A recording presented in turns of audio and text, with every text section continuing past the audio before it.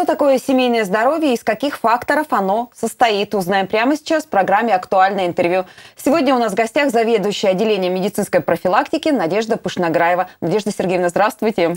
Здравствуйте. А, вы у нас частый гость студии, но мы всегда рады вас видеть.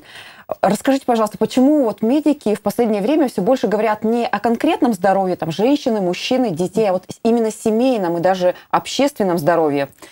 Да, спасибо за то, что приглашаете. А, потому что темы здоровья для нас очень актуальны, и наша задача, и задача нашего Центра медицинской профилактики как раз-таки через средства массовой информации доносить важную и нужную информацию. А, мы сегодня все чаще говорим про общественное здоровье, и даже в рамках национальных проектов, национального проекта «Демография» реализуется отдельный такой подпроект укрепления общественного здоровья. Почему? Потому что э, здоровье формируется в социуме. Э, это то место, где мы учимся, где мы живем, где мы работаем. Это в том числе и э, семья.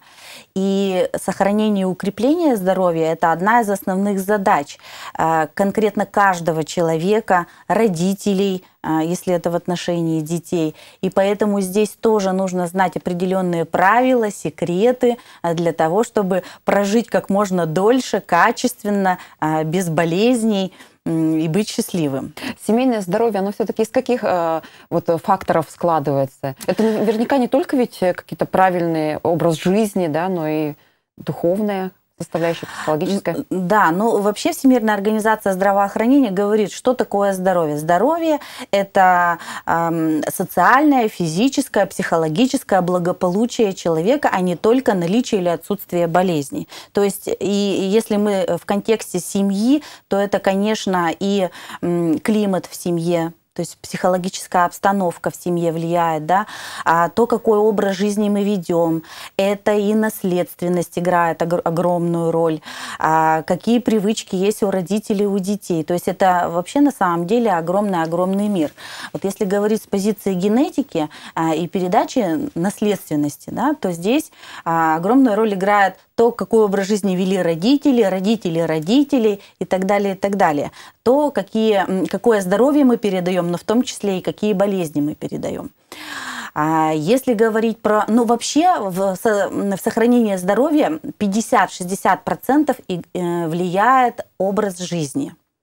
А, что такое образ жизни? Это какие-то действия в течение жизни выполняемые, может быть, регулярно, может быть, не совсем регулярно, но а, которые влияют на наше здоровье. Сюда входит и гигиена, Сюда входит и питание, и наличие физической активности. Сюда входит и духовная, естественно, составляющая. Развитие, социальная принадлежность, важность, нужность, э, ощущение важности и нужности э, нашему обществу. Да? То есть очень-очень много составляющих. Физическая активность, как у нас в ней состоят дела в Ненецком округе? Мне кажется, не совсем хорошо, да, Надежда Сергеевна? Есть у нас, конечно, те, кто любят очень активный образ жизни, но есть, которые ну, это не только у нас. Я не могу сказать, что в Ненецком автономном округе как-то дела плохо обстоят с этим. Напротив, я очень часто а, вижу людей, когда утром иду на работу, которые бегают, да, вот их же никто не заставляет, а они делают это сами. Я вижу, ходьбой, да? Да, очень много пенсионеров, которые ходят с палочками. Я вижу на стадионах детей, которые занимаются различными видами активности, катаются на великах, на площади Марацей. То есть, э, в, в принципе, э, э с этим дела у нас обстоят, обстоят не так плохо. Но опять же... Много с ожирением у нас э, есть. Да, рост э, ожирения – это глобальная Причем проблема молодых. и среди детей. Рост ожирения среди детей тоже наблюдается. Э, и здесь, конечно, почему это происходит? Ну, во-первых, век другой. Гаджеты, компьютеры, то есть дети вынуждены сидеть... Общение только в телефоне. Да, да, дети вынуждены сидеть в школе, нелюбимые уроки физкультуры до сих пор, да, то есть Хочется, чтобы как-то уроки были, физкультуры вот любимыми, да, не все спортсмены, к сожалению, могут э, нормативы выполнять. Потом пример родителей. Ведь физическая активность это не только вид спорта. Э, это э, любая, любой вид активности. Это могут быть просто прогулки, это могут быть семейные походы в лес. А опять же, от чего это зависит? Это надо подняться родителям, организовать это все и сделать эту вылазку в лес, э, куда-то в гости, да, в бассейн сходить, не знаю, в баню, еще что-то. То есть придумать какие-то развлечения для семьи, которые бы вот именно были направлены на повышение физической активности. А, Но ну, я бы хотела еще сказать вот больше даже про питание, угу. потому что если мы затронули тему ожирения и образа жизни, то а, мне кажется, питание надо вынести на первый план.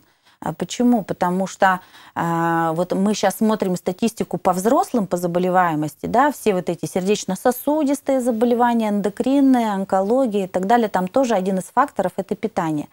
У детей статистика по диспансеризации показывает, что у них на первом месте заболевания глаз, опорно-двигательный и уже где-то там, по-моему, эндокринные идут.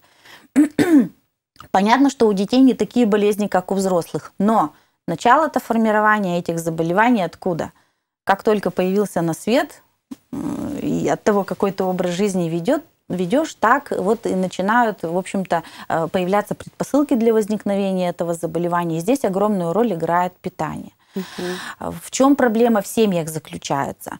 Ну, во-первых, э, до сих пор, наверное, с советских времен э, ведется такая вот привычка заставлять детей доедать.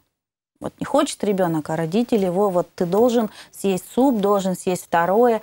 Это неправильная политика. Не надо заставлять детей. Ребенок съест то, столько, сколько ему положено. Если он проголодается, он подойдет, скажет. Да? Это вот один аспект. Второй аспект, э, то, что дети, например, целый день не кушают в школе. Это тоже плохо, это приводит к перееданию как раз-таки или к приему пищи плохой это сладкий фастфуд, вот та, такая быстрая, доступная еда. Поэтому, конечно, здесь нужно позаботиться, чтобы э, правильная еда была в школе, хотя бы, э, ну там, я не знаю, обед в школе раз должен быть, горячая пища. А, а, конечно, многое зависит от мамы. Мама вообще э, готовит в семье, и они, по сути, формируют рационы папы, и свой и так далее. И э, здесь тоже нужно э, знать и уметь секреты приготовления пищи, э, правильной, здоровой пищи. То есть минимальное использование соли и сахара, да, жиров маргаринов. Э, лучше готовить пищу в духовке, запекать в фольге, искать какие-то новые интересные совместные рецепты, чтобы было вкусно и полезно детям. Привлекать а, к процессу приготовления пищи детей. Почему? Потому что когда они выходят во взрослую жизнь, они тоже должны владеть вот набором тех знаний, как приготовить правильную здоровую пищу. А, бывают семьи, которые, например, э, вместо того, чтобы готовить ужин, заказывают пиццу, роллы э, там или еще какие-то продукты нездоровые. Вот я это, конечно, категорически не рекомендую делать, потому что это действительно пища жирная, а тем более на ночь, э, нездоровая. Вот это все в совокупе а, влияет. У вас был интересный проект, вот как, как раз направленный на похудение, худеем вместе. Да. Какие результаты можно узнать у ваших подопечных, так скажем? Ну, результаты у нас разные. А, есть и хорошие результаты. А сколько длился проект? Ну, можно сказать, что он до сих пор э, длится, потому что не так много людей приняло в нем участие. То есть, получается, это шесть человек. Шесть человек, а, причем это две э, как бы разные группы в разные периоды. Э, был хороший результат у одной женщины где-то 10 и более килограмм, но значит, проект начался у нас, по-моему, где-то в феврале месяце, да, а, то есть, но она потихонечку вернулась. Э, а, а с чем связано? Опять начала также неправильно да, питаться? то есть э, она внедрила те изменения, о которых мы говорили, а, начало все хорошо получаться, но сейчас она вернулась на тот же режим питания, что и был раньше. То есть, ну, опять же, я хочу сказать, отрицательный результат – это тоже результат, потому что вот когда мы сейчас с ней разговариваем, она уже понимает, что да, если я что-то не изменю, а, ничего и не изменится. А, у нас, к сожалению, до сих пор люди привыкли думать, а, да ладно, там, подумаешь, я сегодня пиццу съел, завтра я там то-то, подумаешь, угу. сегодня у меня сегодня такое я наемся, есть. завтра я поголодаю. Да, а потом мне выпишут какую-нибудь волшебную таблетку, я ее проглочу и в миг стану худым. Нет, Не бывает чудес на свете, все достигается. Мы уже толстеем э, длительный период, соответственно, и чтобы похудеть, нужно длительно и поработать над собой, прежде всего над волей. Вот. Хотя есть, есть участники, которые э, достигли то, того, той, э, той цели, которую мы ставили. У некоторых мы ставили 5% от исходного, у некоторых мы ставили 10% от исходного. То есть процентов 30 результат есть. А, ну, это тоже, я считаю, результат. А, и результат есть и по мне, потому что я одна из участников этого проекта. Мы видим, да. Насколько вам удалось похудеть? Э, мне удалось похудеть на 10 килограмм. А, вот. Э, и э, да, я чрезвычайно рада и довольна этому результату, потому что длительный период я не могла преодолеть определенную отметку ниже 80 килограмм. Это, наверное, буквально десятки, 10 лет, наверное, я не могла эту отметку преодолеть. И благодаря вот этому проекту я еще прошла обучение специальное. В общем-то, я смогла это сделать, и эти знания, естественно, я использую в своей работе. Здесь, э, и вот что я могу сказать, здесь э, мотивация. Любое наше действие, что бы мы ни делали, э, это все обусловлено нашей мотивацией, желанием достичь чего, чего-то либо. Да? И поэтому вот если мы хотим похудеть, мы должны хотеть это так, вот как, как в туалет захотеть.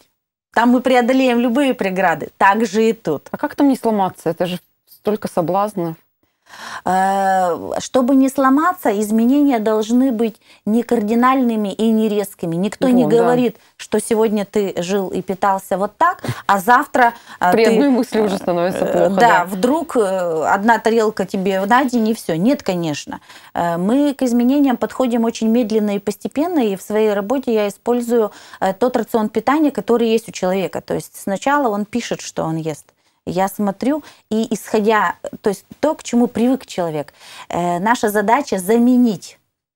Не убрать все, а заменить. А, заменить так, чтобы это нравилось человеку. Мы же от еды тоже получаем удовольствие на самом деле, да? Поэтому нужно находить то, что э, здоровое, то, что будет нравиться. Вот на наших полках, мне кажется, так трудно найти вот это здоровое. То, Можно что... найти. Вот Можно. я вас уверяю, вот это все э, мифы и отговорки э, людей, которые, э, вот они мне часто говорят, ну нет, ну все, вот сегодня вот мне одна говорит женщина, ну, Надежда Сергеевна, я вот давайте с понедельника. Это не должно быть с понедельника, это должно быть сейчас и здесь. Вот.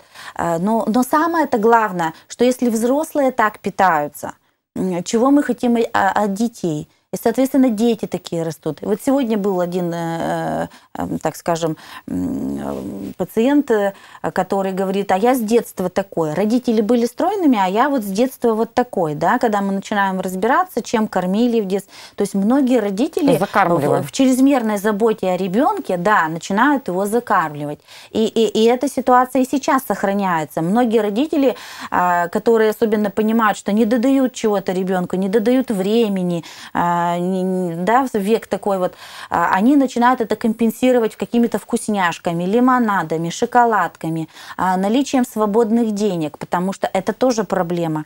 И тем самым ребенок вовлекается во все это, привыкает к этой нездоровой пище, и затем он это перенесет уже в свою семью, то есть на внуков, этих родителей. И так оно вот, э, и потом это очень сложно. Если он в течение жизни, конечно, придет к мысли о том, что, ой, нет, все, стоп, надо прекратить, надо как-то из этого круга вырваться, а это тяжелее всего.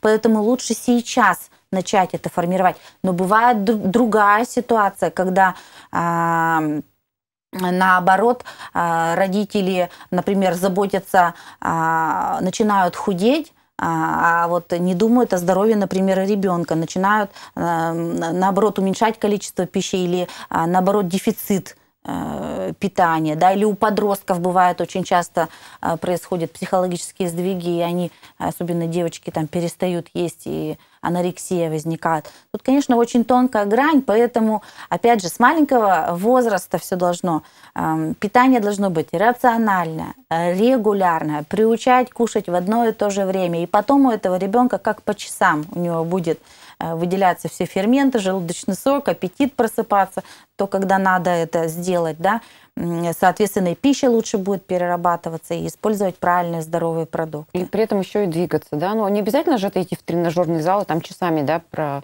работать, а можно и походить. Сколько Конечно. примерно нужно ходить человеку в день? Ну, вот э, есть такая статистика, что вот 10 тысяч шагов. Хотя тоже э, ra- разные источники по-разному трактуют это все. Я хочу сказать так, что норматив может быть разный. Это зависит от возраста, от состояния здоровья. Если у человека, например, больной сустав или у него там пятка болит, мы не можем его заставить 10 тысяч шагов сделать, да. Поэтому это все индивидуально. Самое главное, чтобы эта физическая активность была. И действительно, самый бесплатный и дешевый способ – это ходьба. И благо улицы у нас есть, тротуары у нас есть, ходить у нас есть куда. А, и уж где, как не в Нарьянмаре, можно передвигаться с работы домой и так далее. То есть не такие большие расстояния, как, например, в Москве в той же, да, что там, например, если на другом конце города. А, но даже если и на работе, вот сидячая работа, лестница есть у всех. Делаем перерывы в течение рабочего дня, делаем разминочку, спустились, поднялись э, по лестнице. Это уже физическая активность. Да? Ну а если вы хотите подкачать определенные группы мышц, сделать красивый рельеф своего тела, то это, конечно, тогда уже прямая дорога в тренажерный зал к специалисту, чтобы, опять же, без вреда к здоровью сделать свое тело красивым. Ну, это очень сложно. Но это все достижимо. Достижимо, Это да. все достижимо. Опять же, была бы мотивация. Мотивация, мне кажется, а, это понимание того, что самый бесценный ресурс, который дан нам от природы, а, это наше здоровье. Ведь вот я сказала определение ВОЗ, да, это соци- социальное, духовное, психологическое благополучие. Я теперь, когда хожу в школу, и рассказываю на уроках детям вообще про здоровье а, и так далее. Им же не просто ты не придешь и скажешь, что такое здоровье, это некое аб- абстрактно. Да. Я привязываю это к благополучию. Благо получать. У нас, к сожалению, теперь потребительское общество. Э, Надо учитывать, что важно в определенном возрасте. Если, например, в 14-15 лет а, важно иметь крутой телефон, а, или важно быть красивым, чтобы у тебя не было прыщиков на лице, то я привязываю понятие здоровья к этому, потому что если ты пьешь лимонад и закусываешь его пирожными, у тебя будет кожа некрасивая, будут э, прыщи, угри, да, масса тела будет. То есть подросткам и детям нужно это объяснять. А потом, если мы говорим про здоровье, если у тебя нет здоровья, ты не сможешь быть финансово благополучен, да. и успешен. А, Есть, конечно, уникальные случаи, когда Ник Вучич, да, вот он Мгм. сейчас а, такой мотиватор многих людей с ограниченными возможностями, да, но таких людей очень мало. А, И, конечно, когда ты вынужден ходить по больницам и куда-то ездить, это вот, поэтому мы, я вот стараюсь подросткам объяснить, что если вы хотите сделать карьеру, то уже и не модно, не популярно не пить, не курить. Ты должен быть здоровым, ты должен вести здоровый образ жизни, чтобы быть успешным, активным. А, Это же влияет и на твое развитие, и потом на твое благосостояние и так далее. И работодатели, принимая на работу, тоже анкету смотрят, да? Вот Есть это вот вре- правильно. вредные привычки или да, нет? да. Сейчас многие работодатели обращают на это внимание, и это правильно, потому что э, курильщик в течение рабочего дня а, затрачивает массу времени на не ту работу, которую нужно. И сейчас, кстати, вот мы возвращаемся к вопросу об общественном здоровье. А, Поднимается вопрос именно здоровья на рабочем месте, привлечение к этому процессу а, работодателей, формирование корпоративных программ укрепления здоровья. Вот это новое, то, что Мгм. будет внедряться уже, наверное, я думаю, с этого года. И вот прокуратура Нинского автономного округа уже первая сказала, что мы хотим внедрить корпоративную программу по укреплению А что, например, туда будет входить? Посещение бассейна, все что угодно. Здесь нужно совместно с работодателем, учитывая возможности работодателя, профсоюзов и так далее. То есть это не центр медпрофилактики должен прийти и написать эту программу. Мы можем помочь.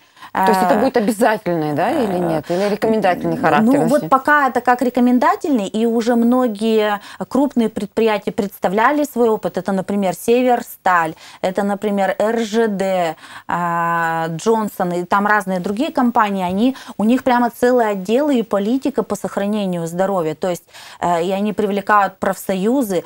Э, я знаю, что некоторые даже и учреждения уже государственные э, к этому процессу. Я и на территории Ненецкого автономного округа мы тоже начнем взаимодействие с работодателями. Но, конечно, надо, чтобы было желание работодателей.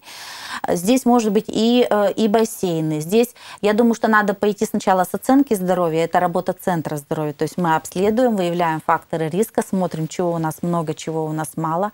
Отсюда уже с работодателем обсуждаем, какие меры нужно внедрить. Если это на двигательную активность, мы должны предложить людям, э, вот, где они могут позаниматься. Да? А если это консультативная помощь, это мы тоже вот обсудим. То есть меры могут быть разными. А, это даже может быть мотивация сотрудника за какую-то премиальную выплату. И, кстати, такие случаи есть, когда сотрудник э, в течение года отказывается от курения, то он, э, во-первых, ему выдаются, да, вот предприятие показывало такой опыт, значит, сотрудник решает отказаться от курения – ему выдается некая определенная денежная сумма на то, чтобы вот он отказался от курения, и ему сроки устанавливаются, по 6 месяцев. Если за 6 месяцев он отказался, ему выплачивается еще премия, и все, он как бы не курит. Если он не отказался за 6 месяцев, то он должен вернуть эти деньги, но уже в большем, так скажем, объеме. Мне Это кажется, не курящий тоже закурит. К вопросу повышения мотивации. Ну да, у нас вот тоже, я тоже, кстати, об этом думала, что нам надо больше мотивировать людей, которые ведут здоровый образ жизни, потому что действительно проблема пойти в тренажерку, когда у тебя определенный режим работы, да, или, э, ну сейчас, слава богу, вот на диспансеризацию, вроде уже законодательно утвердили, что день должны давать, э, значит, чтобы пройти диспансеризацию. Кстати, изменились сейчас условия, да, диспансеризации, да. люди после 40 лет будут как раз раз да. в год проходить. Да, с этого года новый приказ по диспансеризации, вообще каждый может пройти профилактический медицинский осмотр. Э, теперь профилактический медицинский осмотр стал составляющей диспансеризации. То есть ты, когда вот приходишь в поликлинику, неважно, сколько тебе лет, ты можешь сразу пройти вот в этот кабинет профилактики, хоть и в заполярной поликлинике, хоть в нашей, э, в Ненецкой окружной больнице, э, прийти и сказать, я хочу пройти медосмотр, там смотрят ваш возраст, и проводят профилактический медицинский осмотр, а потом смотрят э, по диспансеризации. Старше 40 тоже каждый год можно проходить. Усилили скрининговую составляющую по онкологии, там прям идет отдельный блок. Вот это хорошо, раньше э, там какой-то минимальный был, да, да анализ? Да. Да, теперь э, вот усилили, ввели, по-моему, в 40 или в 45 лет, сейчас вот не помню, фиброгастродуоденоскопию ввели, ну вот анализ крови кала на скрытую кровь. Ну, там много всяких составляющих, э, вплоть до осмотра, чтобы и врачей всех настраивают, чтобы вот прямо онконастороженность была у всех. А, ну и задача диспансеризации, профосмотра, это, конечно, онкология, сердечно-сосудистые, эндокрины. Но не все опять заболевания можно да, там выявить, иначе это надо вообще все полностью. Но заподозрить можно. Давайте вернемся к нашей теме да. семейное здоровье. А, о вредных привычках хотела поговорить. Вот как важно все-таки на своем примере да, э, воспитывать детей, потому что вот бывает, да, случай, папа налил э, водочки, стакан и сказал, только ты, сына, смотри, как папа это не делает, да? Ну, это у нас такие методы русского воспитания, к сожалению. вот это очень серьезная, важная тема, действительно, особенно наши русские застолья. Э, так принято, что день рождения, э, там, не знаю, любой какой-то праздник сопровождается накрытым столом, и обязательно это с алкогольными напитками. Вот это тоже уже как бы не модно, не популярно, да, надо уже отходить от этой меры, хотя мы понимаем, что мы все русские люди, и, наверное, этого не избежать. Э, вредные привычки действительно тоже формируются в семье, но не только. Нельзя сказать, что у пьющих родителей могут быть пьющие дети. Риск выше, но угу. это не всегда так. Или у курящих э, будут курящие дети. Да, это не всегда так. А, поэтому здесь, опять же, важна и нужна работа в семье. Все равно ребенок рано или поздно столкнется э, с проблемой потребления алкоголя и потребления табака, как минимум. В обществе он с этим однозначно столкнется. И поэтому, пока он растет и пока он маленький, мы должны провести тоже определенную работу. Ну, не мы, а родители, наверное, прежде всего, и школа, и медицина, все совместно. А, во-первых, мы должны формировать у ребенка негативное отношение к алкоголю и табаку не назидательно, не как-то. То есть если вдруг вот папа в семье там злоупотребил алкоголем, и ребенок видит э, нетрезвого родителя, да, но как минимум мама должна ему объяснить, что э, вот это чревато, что это плохо, что это вот как влияет это на мозг.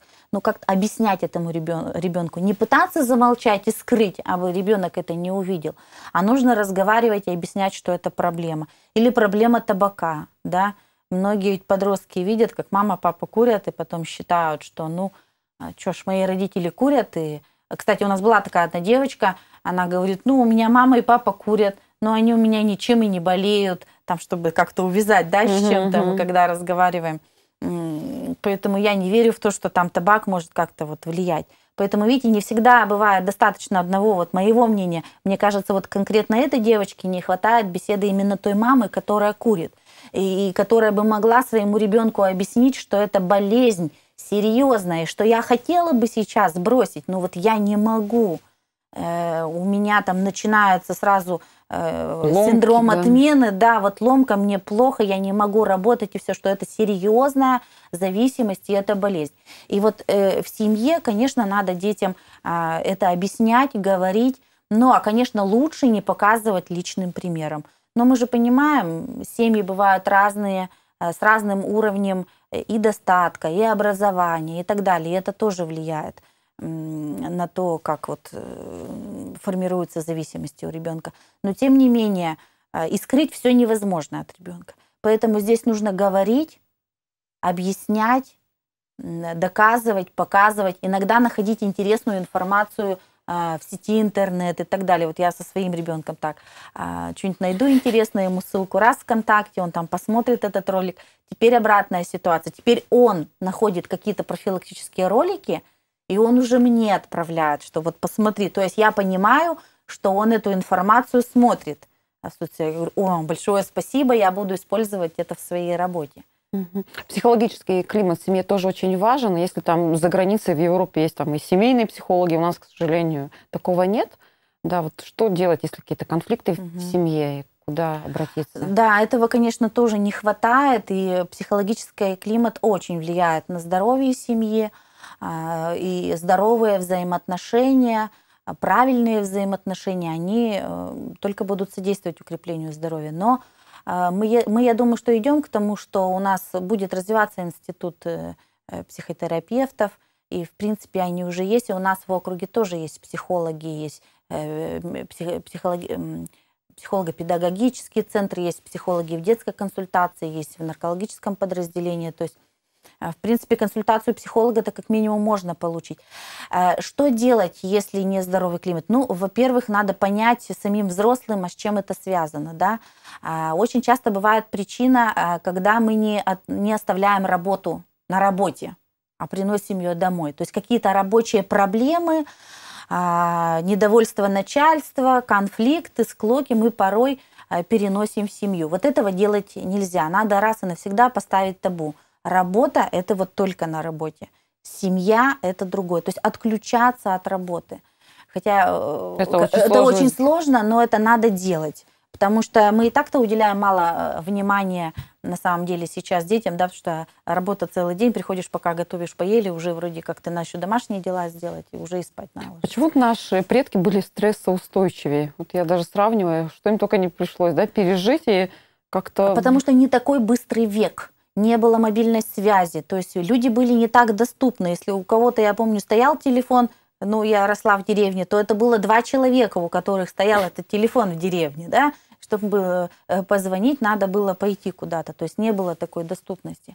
А, потом требования, все более возрастающие требования, а, требования и на работе, и в школе к детям требования возрастают, и вот в связи с, с, с экзаменами. И мы все время в компьютере, это тоже немаловажно. Да, а, очень пони... надо понимать, что они там, кстати, смотрят. Вот это тоже очень большой вопрос к интернет-безопасности, потому что мы все смотрим телевизор, и суицидальные попытки, и настроение и так далее.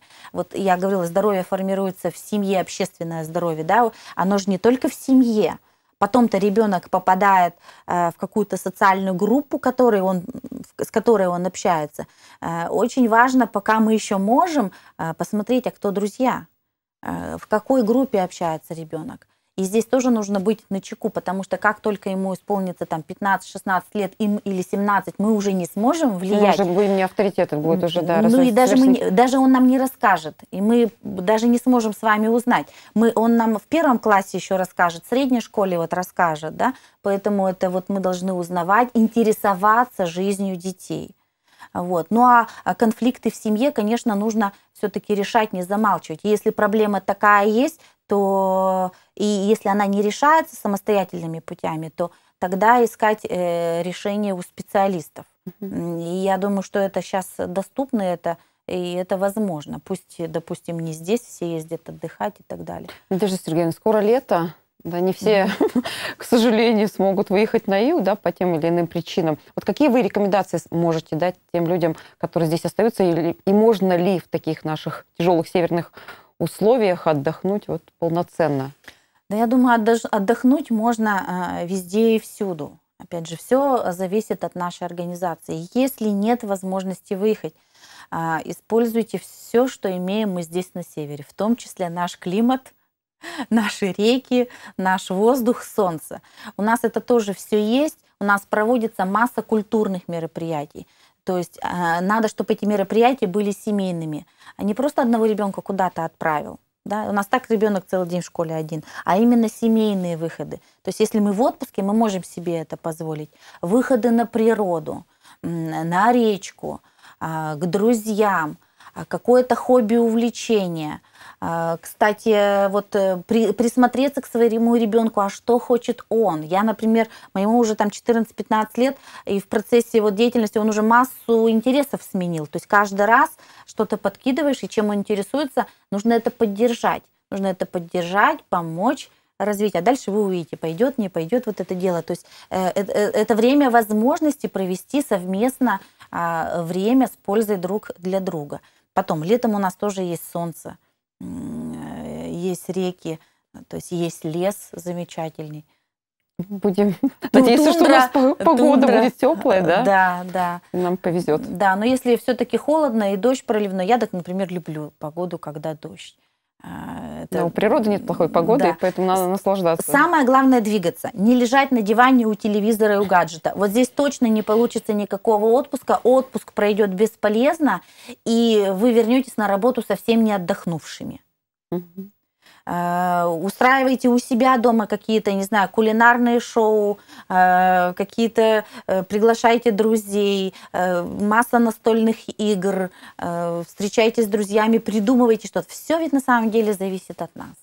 Ну, иногда надо, конечно, и полежать, и отдохнуть, и посмотреть хорошее, э, положительное кино, и э, получить положительный эмоциональный заряд. Это тоже очень важно. Надежда Сергеевна, спасибо большое, что пришли сегодня к нам в студию. Очень много полезной информации от вас подчерпнула. Да. Приходите еще, будем рады. Спасибо большое.